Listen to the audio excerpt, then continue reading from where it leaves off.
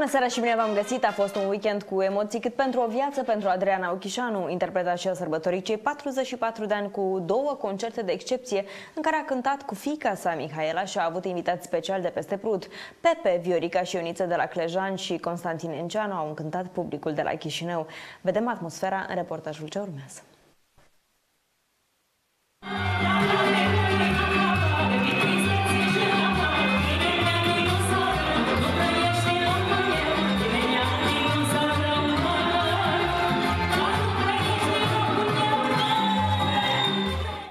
Cu dansatorii, Adriana Ochișanu și-a făcut apariția într-un mod neașteptat, chiar din sală.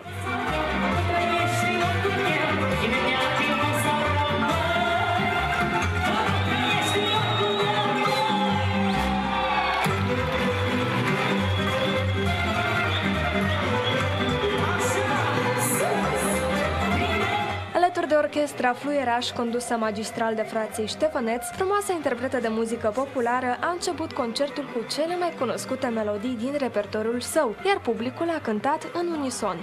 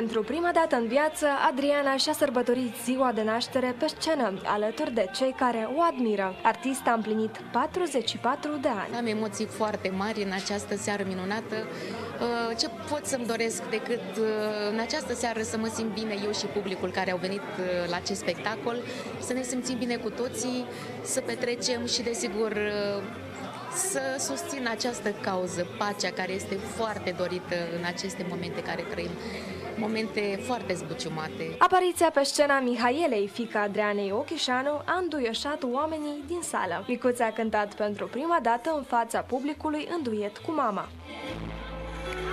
Asta-i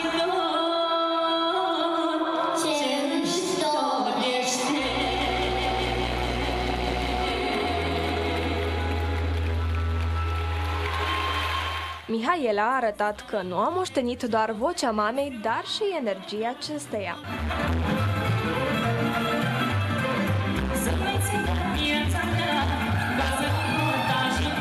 Invitatul special din România, Pepe, a trezit nostalgia publicului de la Chișinău cu piesele sale.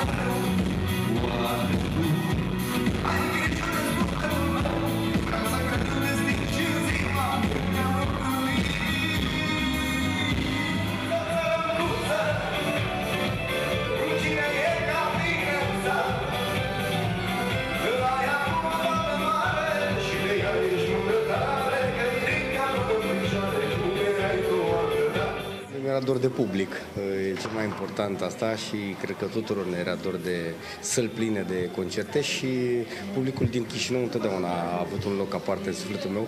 Am avut multe evenimente în Republica Moldova și oamenii știu să dăruiască dragoste și flori. Așteptat de public a fost și interpretul de muzică populară Constantin Ienceanu.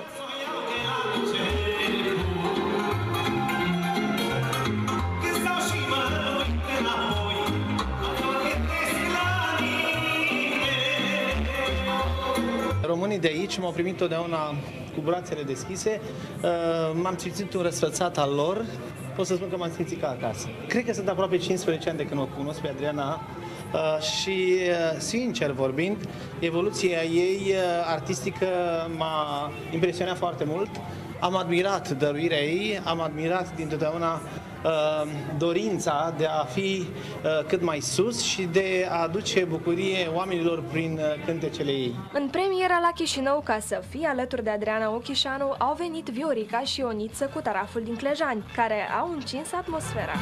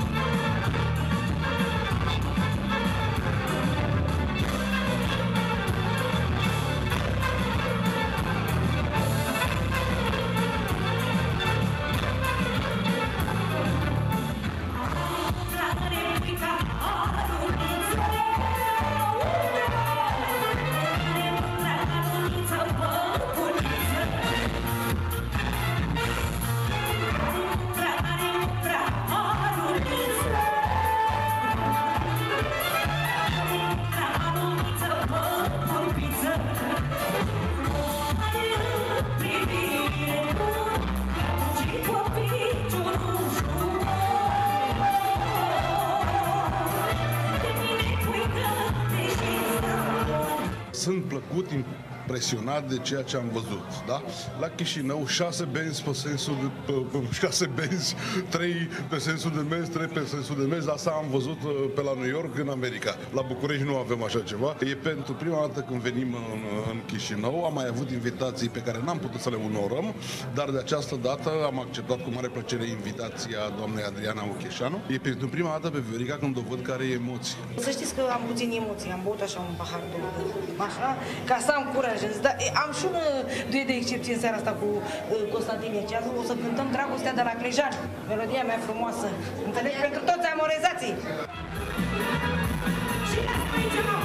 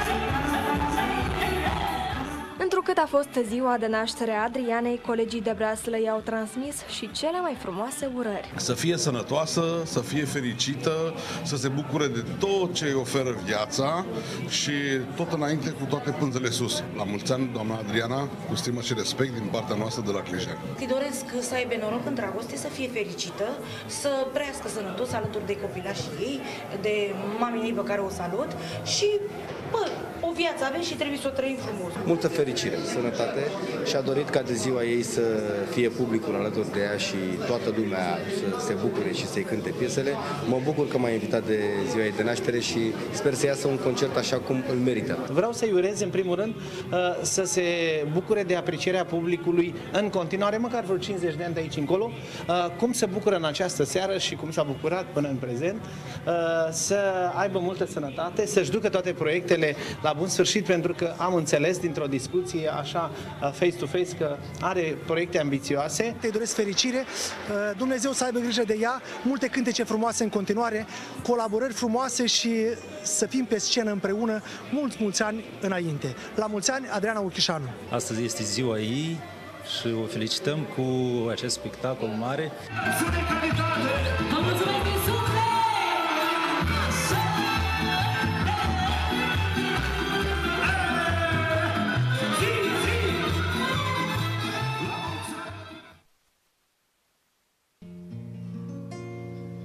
Să fie pace în lume, să fie pace în lume, să fie pace în lume, să fie pace, pace, pace pe pământ, să fie pâine pe masă și toți ai casei acasă și grâu în prazdă să iasă, să fie pace, pace, pace pe pământ Să fie o blândă lumină Și nu rachete în grădină Dar vești frumoase să vină Să fie pace, pace, pace pe pământ. Ca focul rău să nu ardă Cât viața noi nu e moartă Să stăm cu toții de gardă Să fie pace, pace, pace pe pământ. Sub spuciumatele astre Destul cu atâtea dezastre O cer durerile noastre. Să fie pace, pace, pace pe pământ. Destul cu traiul de câine Spre dezvoltare și pâine. Și pentru ziua de mâine Să fie pace, pace, pace pe pământ. De pace dreaptă mi-e sete Plenara întregii planete Să fie pace, pace, pace pe pământ. Ministrii lumii să n-asculte De interese oculte Și de cerințele multe. Să fie pace, pace, pace pe pământ. Să fie pace în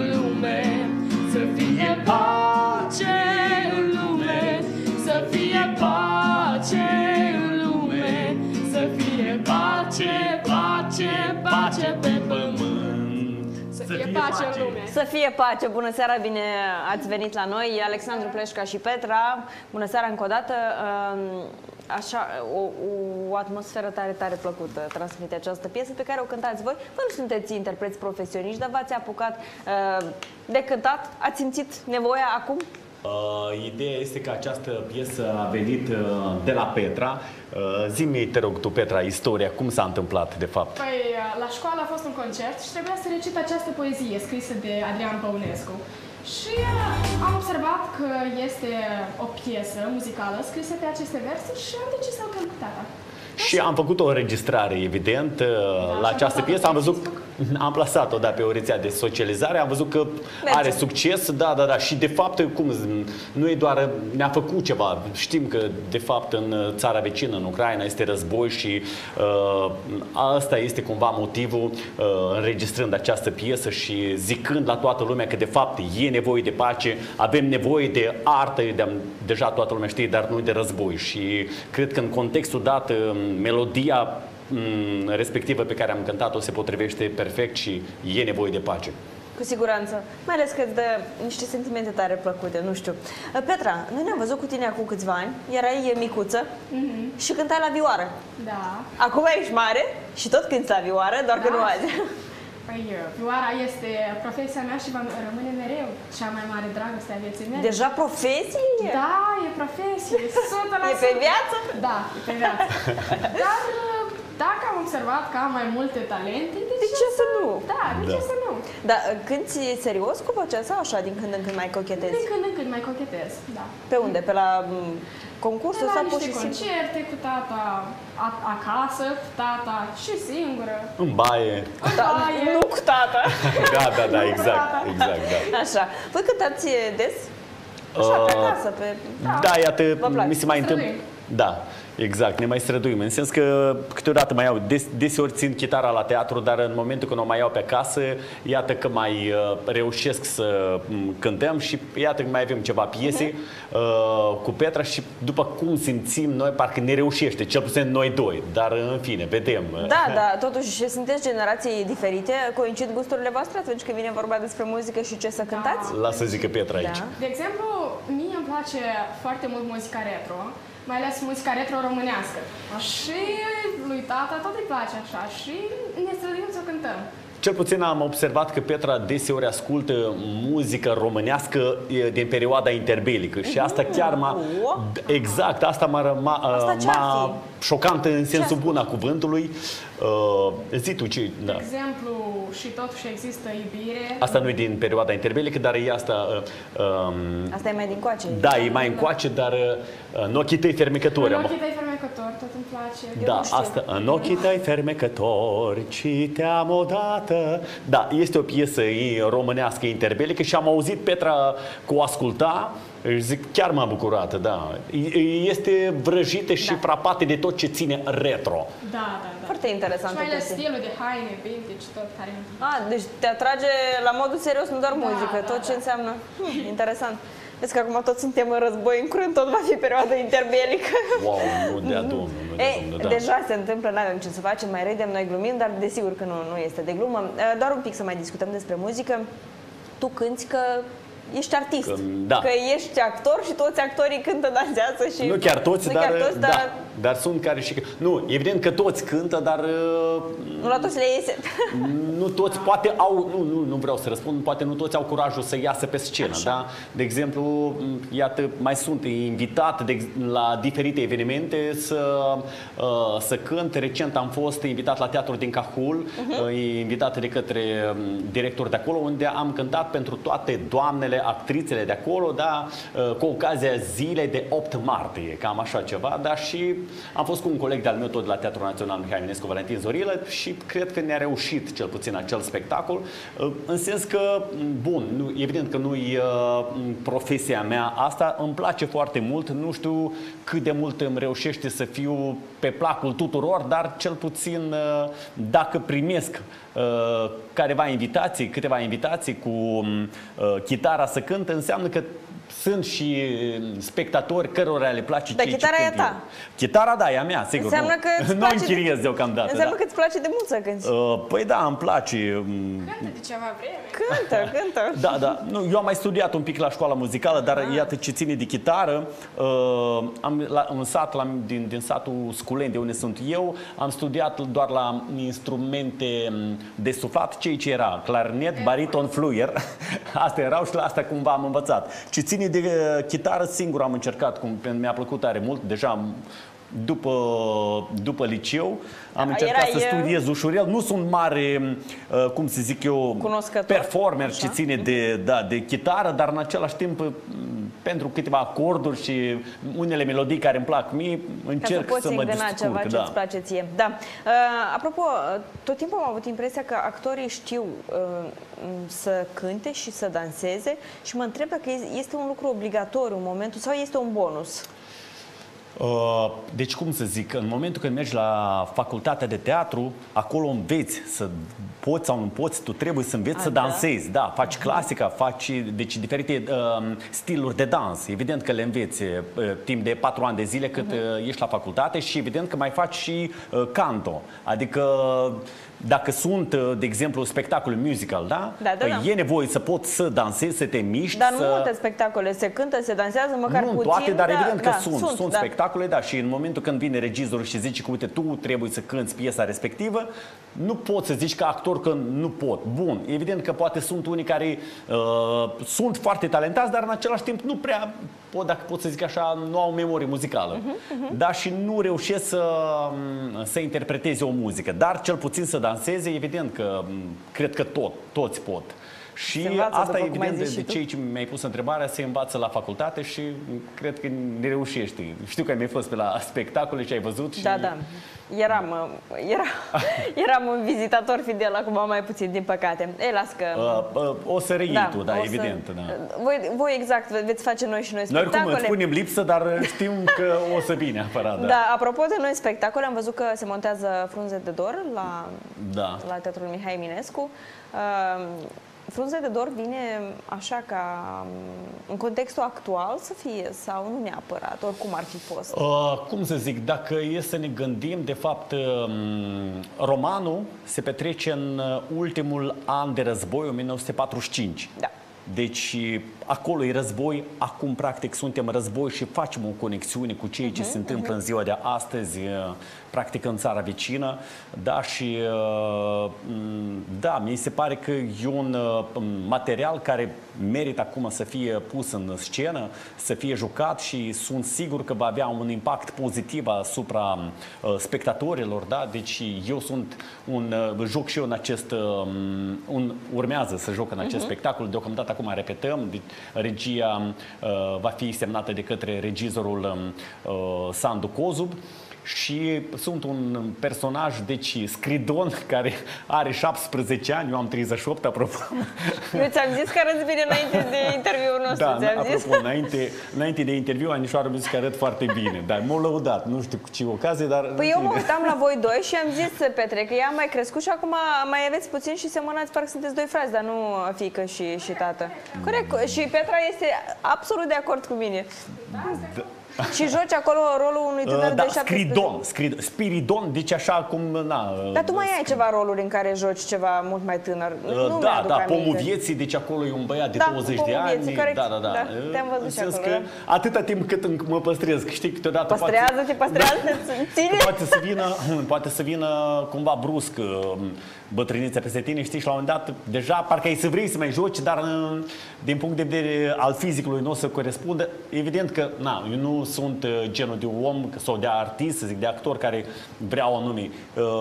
Uh, vreau să um, corespund uh, și um, uh, tot ce ține de vârsta mea. Dacă vârsta mea îmi zice că trebuie să joc un personaj de 38 de ani, înseamnă că va trebui să joc. De exemplu, am un alt spectacol unde joc un băiat de 40 de ani. Uh-huh, da. uh-huh. Nu știu dacă îmi reușește deja să fiu mai în vârstă și mai e, deștept, dar cel puțin depun un efort. Este vorba despre spectacolul Crum, montat de Luminița Țecu, tot la Teatrul Național Mihai Eminescu și uh, cam așa ceva. Re, în, dacă e să revin la întrebarea ta ce ține de m, frunzi de dor, evident că, da, cum ziceam, că e, e război și acum și acolo și dacă îi pot să fac acum o paralelă, mă bucur faptul și uh, am rămas plăcut surprins de societatea noastră care în zilele noastre s-a Mobilizat. S-a mobilizat, da, și au venit cu un ajutor pentru refugiații din Ucraina și sunt mândru, bucuros și mă bucur că toți practic se implică și încearcă cumva să ajutăm uh, acești oameni care au nevoie de ajutor, da. Și Da, eu am văzut, uh, colega ta Diana Da. da. seara a postat uh, faptul că și voi ați fost voluntari pentru o zi. Uh, Uh, de- Eu mai puțin n-am reușit uh, pentru că m, practic sunt în, uh, în repetiții. Diana acum e mai, m, are un pic de timp liber mai mult și uite că ea a fost, am înțeles că mi-a, mi-a povestit și mie, a fost la, m, deci Moldexpo. la Moldexpo, Da, da, da, da. unde a încercat să ajute. A fost uh, o zi destul de m, plină, solicitantă. plină, să zic așa, da, e adevărat plină, dar uh, e o experiență pentru noi, pentru actori și e o plăcere când poți în același timp să faci, să dai o mână de ajutor. Mi-a reușit și mie să ajut câțiva oameni, iată, um, tot refugiați și um, chiar mă bucur că pot și am posibilitatea să fac, uh, să fac un bine, da. Da, uh, rău putem să facem cu toții în orice moment, bine mai puțin, așa că Mi-ar este place salutare. cumva, pă, pă, scuză-mă, te Da. rog, dar știi că deci, am mai auzit așa replici, of, numai să nu vină la noi. Deci, uh, cred că asemenea replici cumva nu se încadre, nu ar fi bine cumva rostite, ar fi bine să se termine, nu ca să nu vină la noi și să, Doamne ferește, Da. să se întâmple Dar acolo. să meargă la ar fi casele bine, lor, da, că- să, să se termine această grozăvie, pentru că vedem că în fiecare zi ia vieți omenești nevinovate. Da, și face dezastru acolo. Mă uit în fiecare zi la imagini cu aceste orașe minunate până acum și distruse. Mă gândesc doar cât va dura reconstrucția și mă ia groaza Da. când se va încheia. Da, e important să se încheie Important odată să și se odată. încheie, corect. Da, mai avem puțin timp și ve- nu vreau să trecem cu vederea experiența ta în uh, Emiratele Arabe, unde te-ai dus uh, ca să joci cu o trupă de teatru. Da, întrebarea este, bun, unu, cum te-ai simțit acolo și Da. cum au trecut aceste luni și doi, ce au făcut ăștia de la Eminescu fără tine? Cine te-a înlocuit în toate rolurile? Deci, în primul rând, vreau să zic că Petra tare mult nu și-a dorit ca eu să plec zile. Da, da, da. A fost greu fără tata? A fost pur și simplu un chin, pentru că el, de fapt, aduce tot, tot amuzamentul. în Energia, masă. da, el e Energia animatorul. pozitivă, Da, da, da. Și fără el e foarte trist. Nu numai pentru că e tatăl meu, pentru că este o persoană minunată în general. dacă să încerc să- Ah, ce drăguț! serios. Da, te cred găsi pe și, cuvânt. și în plus la asta dimineața n-avea nici să o ducă cu mașina la, te- la școală. da, Dar și eu știe de Și tu de el, dar da. că asta e o experiență bună. un pic din viața de lux s-a redus atâta timp cât a fost plecat. Da, deci a fost un, să zic, a fost un um, casting la uh, București. Am trecut acel casting și iată cu o echipă de um, actori din România am reușit să ajung la um, uh, Abu Dhabi, Abu Dhabi, care este capitala Emiratelor Arabe. Am sta, urma să stăm patru luni de zile, dar din cauza pandemiei s-a redus acest festival. Um, deci am, am stat două luni de zile. A fost o Suficient. experiență uh, nepom- nemaipomenit de interesantă pentru mine și zic de ce, în același timp destul de istovitoare din motivul că jucam câte 5-6 spectacole pe zi. În Deci ce limbă? jucam în limba engleză, evident. Și engleza atât de Uh, bine? Mai puțin, dar evident că eu ca actor am învățat limba engleză ca un papagal. Am jucat... pe, pe de rost, da? Da, da, da, am învățat teribil și nu jucam doar un singur, era specta- erau spectacole pentru copii, deci am jucat um, uh, patru, specta- patru povești, dacă pot să zic așa, diferite, deci Alice în țara minunilor, Cenușăreasa, Mickey și Minnie Mouse Ce fain. și Alice în țara minunilor. Așa. Da, deci am zis toate patru, corect, da? Da, da. Deci astea m, patru povești și jucam câte 5-6 spectacole pe zi, deci ultimul spectacol fiind la 12 noaptea se începea. Îți imaginezi? Da, deci a fost destul de istovitor, dar în același timp interesant și a fost și ca un act de rezistență. Cine poate să... Să ducă. uh, da, Dar ai venit cu sacul cu bani acasă? Uh, da, nu. Uh, am rugat-o și, da, da, da, și pe Petra să vină să mă ajute. nu, uh, și din punct de vedere financiar, evident că am Sunt mai fost, bine uh, plătiți actorii acolo. Nici nu se compară, evident că da. Sunt plătiți, da?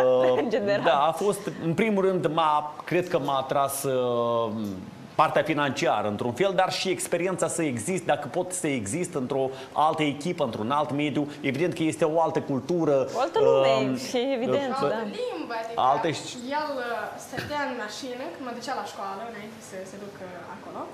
Stătea și repeta textul acela în engleză, așa, Ah. să știi la perfecție, știți? Și mă, și Sigur. mă- mă- îmi cerea ajutorul, adică... Petra, știi eu- foarte bine engleza. Da, eu știu foarte bine engleza, da.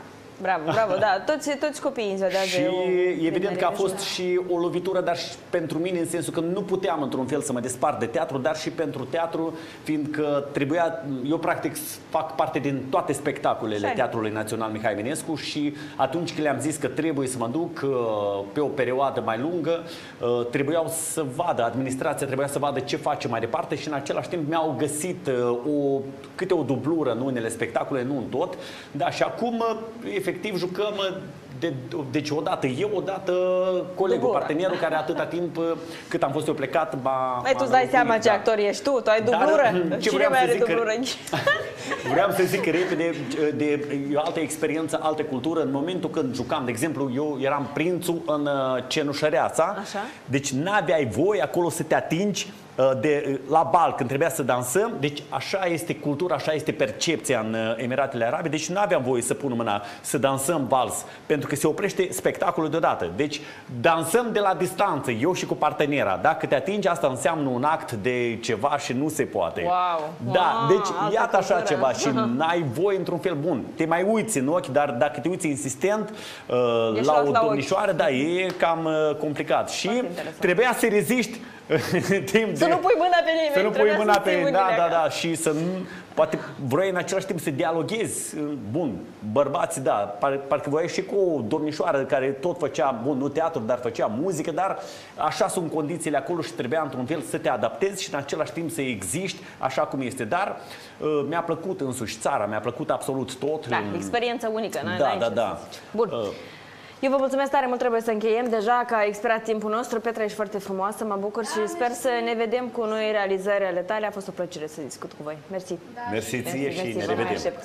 Puțini sunt cei care reușesc să aibă un somn liniștit de când a început războiul. Tensiunea, dar și informațiile care tot apar, ni se întipăresc și chiar ajungem să visăm tot felul de lucruri legate de război. Despre visele noastre în această perioadă discutăm în continuare cu Cristina Costov. Bună seara, bine ai venit! Bună seara, bine v-am regăsit. Tu cum dormi de când a început Pe războiul? alocuri. Ca toată lumea, da? Când mai bine, când mai rău.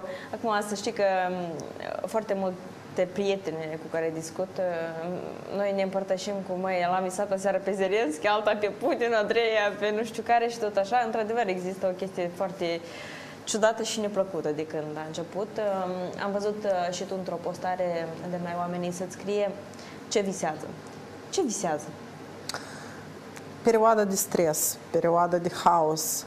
Evident, omul stresat ce o să viseze? Tot ce a văzut pe parcursul zilei, mai ales având atât o situație atât de uh, nu știu, grea, haideți să spunem, emoțional grea, evident, omul o să viseze tot ce se întâmplă. Mai ales că dacă să luăm oameni din țara noastră, eu am întrebat de ce uh, în postare despre vise, deoarece am vrut să văd tendința tuturor și să analizez visele toate Mhm, care sunt și să dau seama ce se petrece, ce o să se petreacă în perioada următoare sau cel puțin în perioadă mică. A, e Uh, posibil așa, da? e Să po- faci prognoze? Cel pe bază- puțin pentru mine, eu fac Așa. analitic. Așa? și uh, văzând situația care am văzut foarte multe vise asemănătoare și faptul că stresul este în așa mod în care moldoveanul, evident, se teme că este vecin, da? Și se teme de o oarecare invazie tot. Deci, oamenii visează, s- uh, nu știu, împușcături, Bombe. diverse, da, chestii care sunt legate de război. Evident, vor visa președintele care permanent uh, Apare. apare la televizor, pe canale de telegram și tot așa, sau uh, diferite lucruri urâte, tancuri, rachete, avioane și tot așa. Spre exemplu, eu noaptea asta am visat avion și nu înțelegeam de ce avion care cade. Și când am văzut la noutăți, a căzut un avion. Deci sunt lucruri care noi nu le putem explica deodată, da? Visul profetic, spre exemplu, să Mhm, spunem. Că toți visează război acum, dar care din el e profetic? Exact. Păi, o, o fată, o cunoscută, aș vrea să spun, tot o mămică de înger, mi-a povestit, Cristina, am visat, uh, încă până la începerea conflictului, am visat că, uite, țara aceea devine mai, mai mare și țara, țara cotropitoare uh, devine mai mică și se negrește. Și au rămas mască, fiindcă conflictul încă n-a început, deși era deja tendință să jucau pe la, pe la marginea... Asta înainte să, să da, înceapă tot. înainte să înceapă. Deci Și după sunt aia- oameni, sunt oameni care au vise profetice. Da, eu îmi notasem întrebarea asta ceva mai târziu, să o discutăm, dar deja dacă suntem aici, uh, știi că noi deseori uh, visăm ceva, ne trezim neliniștiți și măi, să nu se întâmple, dacă ai visat ceva urât, uh, ai impresia că să nu se întâmple lucruri pe care l-ai visat. Și aici cum, e- dacă există vreo posibilitate în care să ne liniștim sau să ne dăm seama dacă visul nostru are vreo legătură cu ce ar urma să se întâmple sau uh, e pur și simplu ce am văzut noi toată ziua la televizor. Uh, Este diferit. Dacă să luăm acum uh, creierul tuturor, da?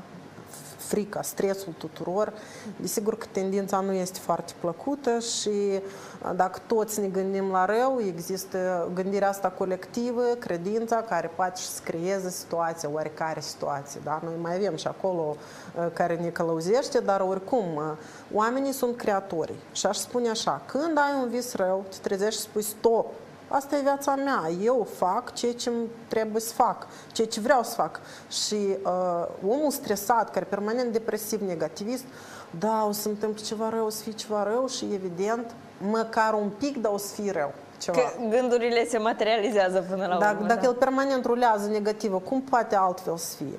Eu de ce spun? În- De unul singur nu faci nimic în așa o situație. Noi trebuie să gândim pozitiv. Este și în Biblie când uh, foarte mult colectiv lumea gândea și se împlinea un anumit proces să se îndeplinea. Deci gândirea colectivă foarte mult face. Și nu este de ezoterie sau ceva uh, supranatural. Este de cre- credință. Noi suntem creatorii și creăm. Păi de ce să nu creăm pace? De ce să nu creăm uh, prezentul nostru trăind acum, dar ne gândim la un viitor și care nu știu cum este și deja ne apucă depresia, frica și tot felul de gânduri aiurea. Așa. Cine visează mai mult despre război? Visează oamenii care sunt empatici, oamenii stresați, oamenii depresivi, oamenii foarte sensibili. Ei vor visa așa, sau oamenii care se află neapărat în conflict. Spre exemplu, uh, au venit niște cunoscuți care tot uh, uh, părinții copiilor cu sindrom Down din Vinița. Au venit și noi am întâlnit aici pe loc, fundația i-a- i-a ajutat. Um, Au visat cum cad rachete, deși încă nu era nimic în Vinița. Și ei au plecat la Chișinău și a doua zi au căzut rachete anume în locurile cele. Deci, într-un fel, um, sunt visele profetice, dar și uh, starea asta de um, nouri deasupra, deja tu știi că se, uh, conflictul este, că deja tu știi că se, este război, Că e rău, da, da. împușcături și, și într-un fel tu atragi, dacă ești și sensibil în același timp, mai ales uh, părinții care au copii cu Mhm. uh, necesități speciale sau oamenii care au trecut prin diverse lucruri mai grele, mai strane, care au avut de parcurs uh, ceva în viață mai complicat, păi ei evident eu să aibă așa vise. Așa. Obligatoriu. Bun. Până la urmă e bine să visăm lucrurile astea? Este ca o energie care se eliberează undeva sau din potrivă trebuie să ne facem griji dacă zi de zi, zi de zi visăm lucruri Da, urâte? dacă să ne facem abstracții de război, uh, dacă visezi în fiecare zi vise de angoasă, nu este bine și Așa. trebuie de studiat. Care este cauza? Fiindcă poate să, să existe o traumă din copilărie sau o traumă recentă, uh, ceva grav, da, și care îți provoacă permanent visele de angoasă. O boală psihică poate să provoace vise de angoasă, spre exemplu ca schizofrenie. Începutul schizofreniei provoacă așa vise de angoasă. Uh, Violente, vise în care este agresivitate, da? Uh, Dar dacă noi visăm o dată sau, mă rog, ai avut un stres mic și ai visat, păi, si- da, este vorba despre eliberare. Freud ne vorbește despre faptul că psihicul se degajă, se eliberează prin intermediul visului. Visul ce face? Fie că îndeplinește o dorință, fie că scoate la iveală o frică sau un stres sau o traumă. Aș, în așa mod eliberând conștiința de uh, acel stres, de aceea Mhm. Dar în astfel de situații mai, mai merg simbolurile. Uite, noi cu tine de multe ori aici la emisiune discutam despre că dacă ai visat câine, nu știu ce, că dacă e cal e altceva, dacă e limbă și dacă e păr, sunt simboluri, știi? Așa. În, în, as- în aceste situații mai sunt simboluri când, sau e pur și Uh, simplu el- realitatea?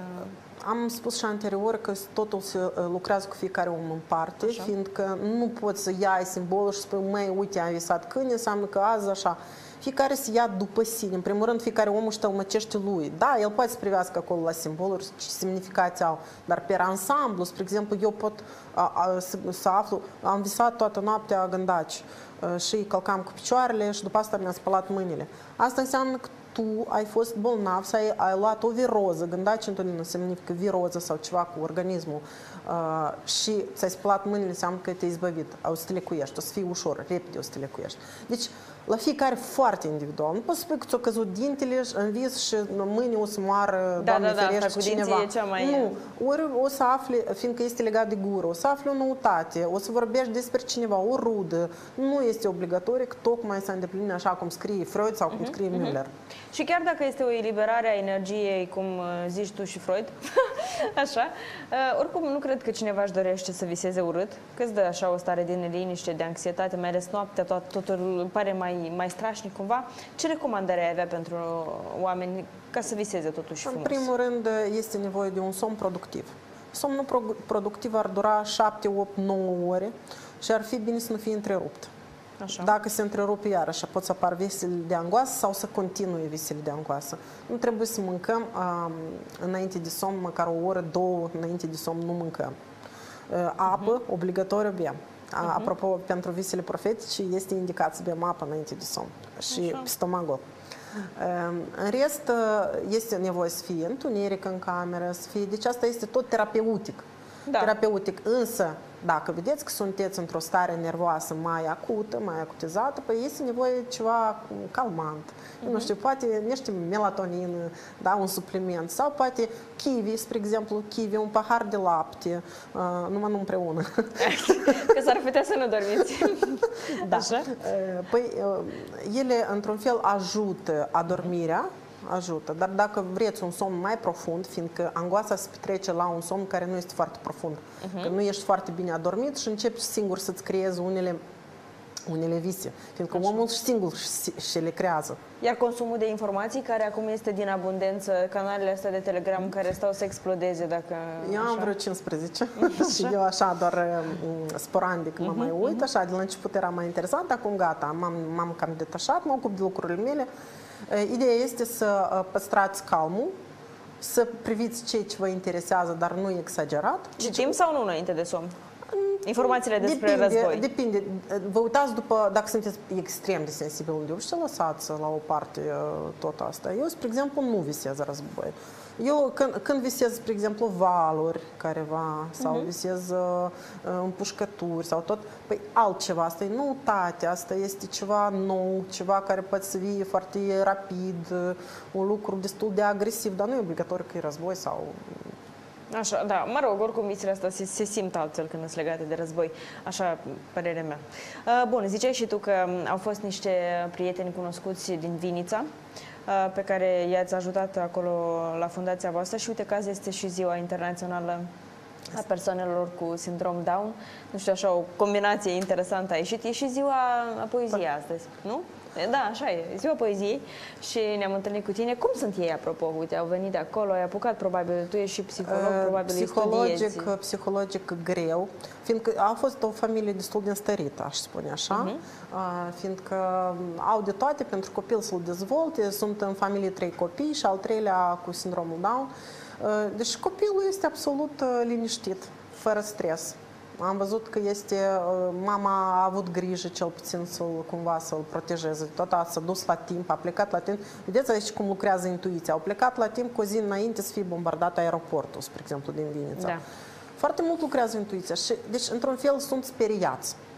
Dar uh, au uh, tendința asta de a ști unde pleacă, fiindcă mulți oameni pleacă și nu știu unde pleacă și nu știu nimic despre Moldova, spre exemplu, și nu știu. Deci sunt lucruri foarte individuale. Aici au știut unde pleacă, fundația i-a ajutat ea uh-huh. unde se mhm. cazeze, uh-huh. într-un fel așa. Au o direcție, cel au puțin, o și o claritate. Da. Uh-huh. Și am avut și niște prieteni din Odessa, care sunt prieteni, sunt moldoveni, dar care erau stabiliți cu traiul acolo. Au spus că este strașnic și sunt mai mult speriați de mass media, decât de uh, ce, se ce se întâmplă, fiindcă în Odessa, spre exemplu, nu se întâmplă ceea uh, de ce s-au speriat ei. Și faptul că, într-adevăr, nu și-au luat nimic, nici haine, nici aur, nimic, nici bijuterii, nimic și au venit așa rapid încoace. Cu ce au, cu ce au avut pe ei, da. Situațiile sunt diferite, să dea Dumnezeu să scăpăm cu toții de tot, tot și să avem da, temele noastre de discuție. Cristina, îți mulțumesc tare mult, ne așteptăm cu drag, mersi. Iar noi continuăm, trăim vremuri complicate, însă asta ar trebui să ne facă să apreciem mai mult ceea ce avem să căutăm fericirea în lucrurile simple pe care ne le aduce fiecare zi.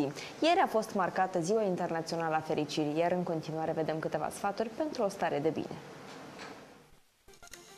Fericirea este un concept abstract care reprezintă experiența unor emoții pozitive precum mulțumirea, satisfacția și bucuria. Acest sentiment este diferit pentru fiecare persoană în parte, dar oamenii de știință au descoperit că unele activități sunt dovedite că aduc fericire majorității oamenilor. Îți propun șapte activități foarte simple, dar eficiente și care nu te costă nimic pentru a influența pozitiv starea de spirit.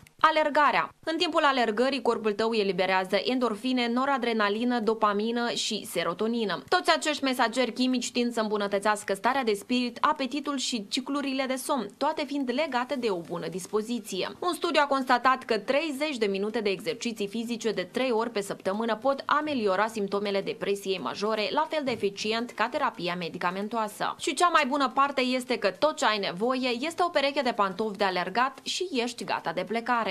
Plimbările în aer liber. O banală plimbare aduce mult mai multe beneficii decât ai putea crede. Potrivit unui studiu, o plimbare în natură tinde să aibă un efect terapeutic și acționează ca un detoxifiant de gânduri negative care pot perturba fericirea unei persoane. Experții recomandă vizitarea unui loc mai verde în timpul ieșirilor la o plimbare în aer liber. Meditația. Meditația se referă la o stare de concentrare intensă asupra prezentului pentru o perioadă determinată de timp. Este o metodă de conexiune între minte și corp care utilizează tehnici concepute pentru a spori capacitatea creierului de a influența funcția corpului. Meditația ajută la reducerea stresului, ameliorarea anxietății, mărirea capacității de atenție și reducerea pierderilor de memorie legate de vârstă. Cercetările au demonstrat că cei care meditează au zone ale creierului bine dezvoltate care cresc conștientizarea și controlul controlul emoțional. Somnul. Somnul afectează multe aspecte ale vieții tale, inclusiv sănătatea și performanța. Mai presus de toate, îți afectează starea de spirit și capacitatea de a fi fericit. Cercetătorii de la Universitatea din Pennsylvania au descoperit că oamenii care dorm doar 4-5 ore în fiecare noapte timp de o săptămână se simțeau mai stresați, triști, furioși și epuizați mental. Când au adoptat modele normale de somn, au experimentat o îmbunătățire drastică a dispoziției. Prin urmare, un somn suficient este foarte important pentru o fericire de plină. Experții recomandă 6-8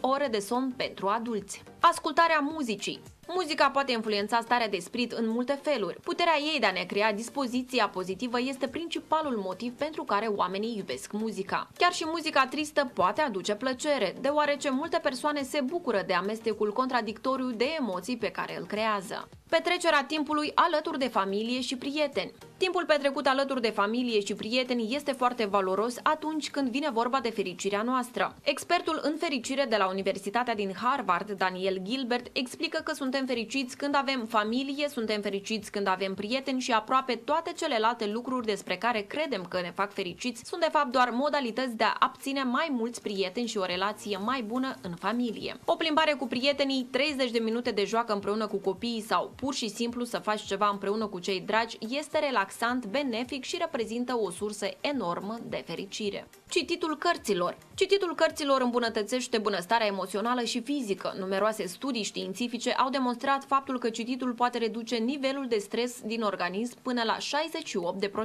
mai mult decât poate muzica sau plimbatul în aer liber și poate ameliora anxietatea. Lista de activități nu se oprește aici, fă mai des ceea ce îți place și cu siguranță fericirea nu va întârzia să apară.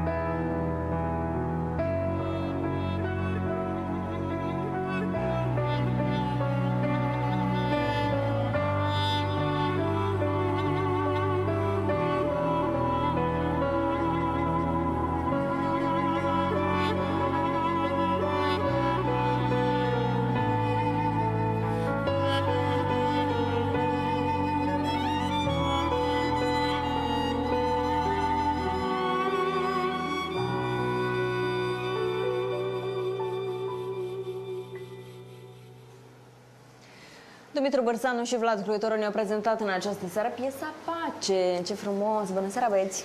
Bună seara, bine v-am găsit. Bine ați venit uh, în negru, așa? Mm? A- Așa e. Așa e stilul. Da, așa e dress codul acestei piese, așa înțeleg. Da, cam așa e. O piesă despre pace care a venit în timp de război. Um, I-a venit timpul acum sau uh, coincidență?